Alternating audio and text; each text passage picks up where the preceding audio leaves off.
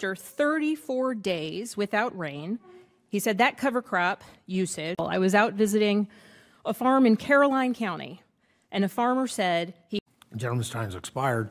Now recognize the gentlelady from Virginia, Mrs. Spanberger, for five minutes. Thank you very much, Mr. Chairman, and thank you, Secretary Vilsack, for being here.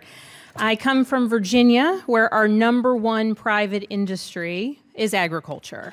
Um, and I had a bit of a visceral reaction when the gentleman talked about hobby farmers and those who don't make farming their full time income, um, because I represent so many of those farmers. And the reason that farming may not be their full time income is because they can't afford to do it. We have small generational family farms that, frankly, many of the conservation programs have helped the farmers I represent save and make more productive. And I'll give a specific example. I was out visiting a farm in Caroline County, and a farmer said he has a thousand acres of cereal rye, and he did a test dig. This is last year and they found rye roots seven feet deep. And that was after 34 days without rain.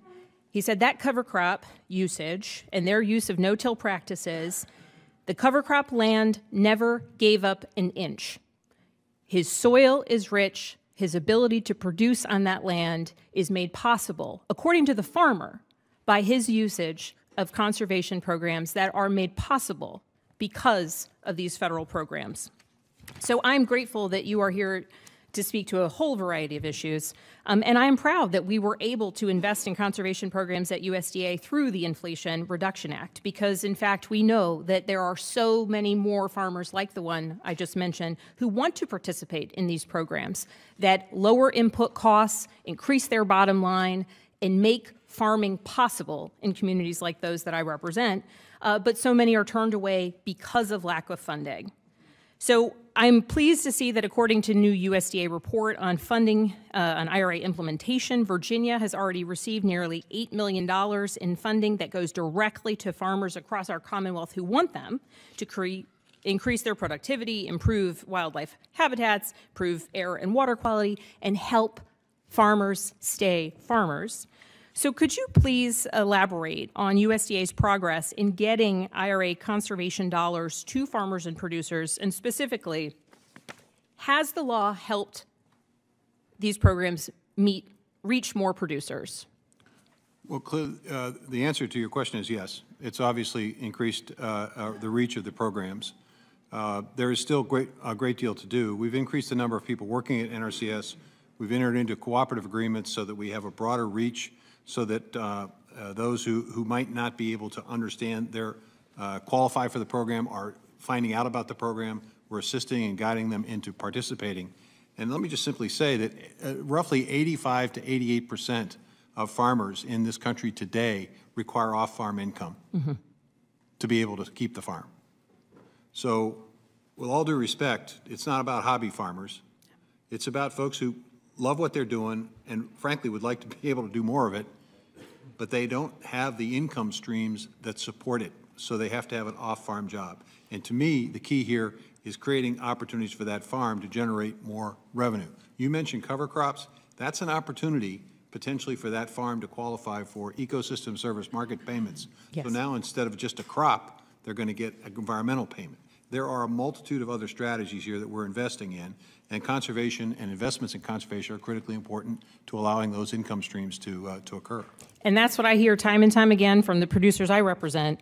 Um, so, in that vein, how can Congress continue supporting USDA, whether through statutory flexibility, you mentioned additional staffing, what else needs to happen to expedite these funds getting out the door? Well, first, a budget that doesn't require us to cut staff. Secondly, maintaining the IRA funding and, and sir, you said it before, but could you just remind everyone how much staff does it do you have to cut because of the budget challenges? Well, the House budget uh, appropriation, ag, ag appropriations talked about an 18% cut to our budget, so you can do the math. Yes, thank you. Please continue. Oh. So, maintain the IRA funding. Let's have, get a budget, pass a farm bill, so there's certainty in, in terms of the programs.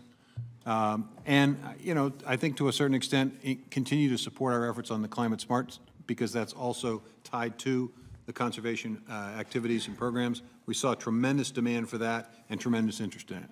And just in closing, uh, related to some of the challenges at the grocery store, I received a message uh, from a, a darling constituent who's speaking of our extraordinary country said, I, for one, still find it amazing that you can buy a pineapple in January for $1.29 on sale at the grocery store. Truly an incredible country. Thank you for serving this incredible country. Mr. Chairman, I yield back. So I'm grateful that you are here to speak to a whole variety of issues, so many of those farmers, and the reason that farming may not be their full time. In- and they found rye roots seven feet deep, and that was specifically. Has the law helped these programs? Gentleman's time has expired. Now recognize the gentlelady from Virginia, Mrs. Spanberger. I come from Virginia, where our number one private industry in Reduction Act, because in fact we know that there are so many more farmers like the one up an inch. His soil is rich. His ability to produce on farmers and those who don't make farming their full-time income, um, because I represent. For five minutes. Thank you very much, Mr. Chairman, and thank you, Secretary Vilsack, for being here. Directly to farmers across our Commonwealth who want them to increase their productivity.